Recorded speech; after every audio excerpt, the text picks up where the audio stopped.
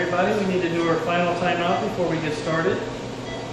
I have our patient name as Esther Jones.